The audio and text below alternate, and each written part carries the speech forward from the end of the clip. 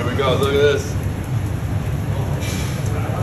Trying the chicken shawarma straight But from the, other the are I see this. Oh my gosh. It's unreal. It's juicy, crispy.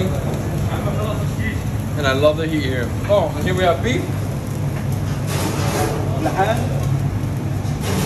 I guess why not? Give me some crispy pieces. I'm melting. I'm literally melting right now. By the way, Mm, no, this is the best, the best beef ever. The fat, the juices. Come to Babylon. Try these shawarmas.